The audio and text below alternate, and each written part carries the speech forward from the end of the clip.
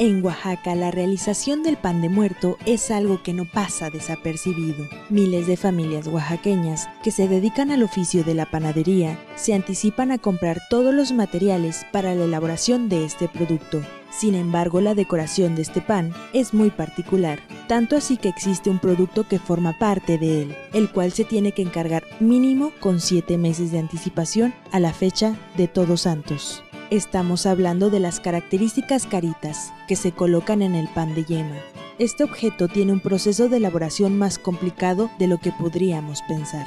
Por ello, Francisco Rodríguez y Mari García nos abrieron las puertas de su casa para conocer un poco más sobre este trabajo que, en su caso, desde hace más de 40 años, forma parte de una tradición familiar. Este trabajo es familiar, ¿sí? porque eh, lo elaboraba mi mamá y yo desde muy pequeño pues empecé con esto, que ya son trabajos que, familiares que vienen de generación en generación. Yo llevo casi 50 años con esto, con esto, porque desde muy chicos empezamos con esto. A los 4 o 5 años ya empezamos a, a pintar carita, o nos ponía, mejor dicho, a pintar carita. Entonces ya unos, unos 50 años con esto. La demanda y lo complicado del trabajo hace que estas singulares caritas tengan que ser encargadas con mucho tiempo de anticipación. Desde el mes de diciembre empezamos a elaborarla porque pues es un trabajo muy meticuloso, hay que hacer pieza por pieza, hay que pintar pieza por pieza. Y como somos los dos trabajando, mi esposa y yo, pues empezamos desde, desde diciembre. Para hacer la masa, pues se revuelven las cosas, lo que es la harina y el agua y la grasa, y hay que darle muchísimo trabajo, muchísimo trabajo porque son masas muy duras, ¿sí? Hay que trabajarlas, aquí lo trabajamos con, las máquinas, son máquinas rudimentarias de rodillos, y con esa le damos mucho trabajo hasta lograr una consistencia muy fina, por eso este, ya de ahí las pasamos a los cortadores, ¿sí? Son moldes para cortar la masa, al tamaño deseado, dependiendo del tamaño que vayamos a elaborar. Tenemos por numeración, que es la más chiquitita, que es del 0, 1, 2, 3, hasta el número 15. Ya de ahí, una vez cortada la masa, empezamos lo que es el marcado. El marcado lo hacemos con los moldes, que los moldes, los moldes son de, barro, o de, los hacemos de, de algún otro material, pero por lo regular los que me heredó mi mamá son de barro. Nos valemos aquí de diferentes cosas para, para hacer los pedazos de, harina. En este caso vamos a ocupar una tijera de zigzag. Los moldes, como les, les comentamos, son de barro, son de plastiloca, de plástico, material apóxico, que, creo que le llaman, ¿verdad? Aquí vamos a marcar una carita, miren. Esta normalmente sería del número 8.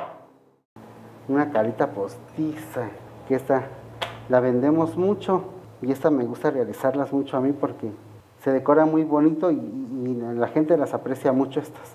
Esta le da forma de una, de una visera, una gorrita. Aquí yo ya corté una flor, aquí vamos a hacer una hoja. Vamos a ponerle una hojita para decorar, ¿sí? Pegamos con, con agua o goma, pegamos la, la hoja, marcamos la hojita y seguimos con una, con una florecita aquí para que nos quede la florecita para decorarla y ya quedó una, una carita postiza, ¿no? Así realizamos la cara y ya quedó como para el del número 15 de dos piezas que se llama postiza. Una vez que ya se tienen las caritas, pasan a manos de Mari, quien junto con sus dos hijos menores le dan un color alegre a este producto único. Con especial cuidado, todos participan en darle vida a estas piezas, pues este trabajo no es nada fácil son pinturas vegetales, eh, pues se van preparando a, bueno, nosotros preparamos a como vamos ocupando, para que no se pongan, pues a veces unas pierden color y nos gusta que pues los colores sean vivos. Eh, también utilizamos lo que son las diamantinas, que les dan brillo y este, vida a las caritas. También las, las marco, pero también es este, pintarlas, decorarlas y darles el acabado con las pinturas. Uno pensaría que pintar caritas para el Día de Muertos es mucho trabajo para una persona. Sin embargo, en esta familia de cariteros tratan de que el tiempo no sea un obstáculo, pues hasta los más pequeños del hogar participan en la producción de este objeto. Me ayudan mis hijos, este, pues en las chicas, ¿no? Porque las grandes pues le digo para que también vayan pues bien y un trabajo bien, entonces sí, pues ahí van aprendiendo a hacerlo también. Este, pues nada más somos nosotros los que las trabajamos, que es mi esposo, mis hijos y yo.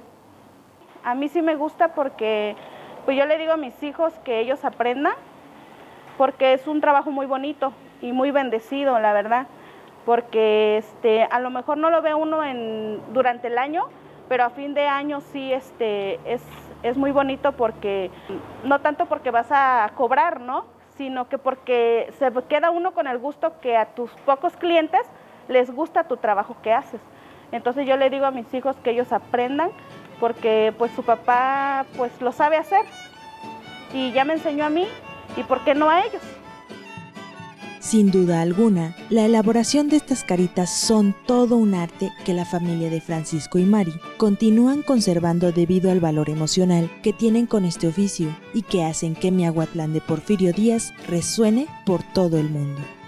Eh, pues para mí, este, pues es como recordar a tus, pues a los seres que ya no están, ¿no? Eh, y pues darle vida a las caritas es como pues representar a tus familiares cómo fueron en, este en vida. Pues el significado yo creo que es para de, de, poner los altares, de seguir con esa tradición. Ese es el, pues para todos es el, el significado. Con información de Alejandro Santiago e imágenes de Eduardo Andrés, MBM Noticias.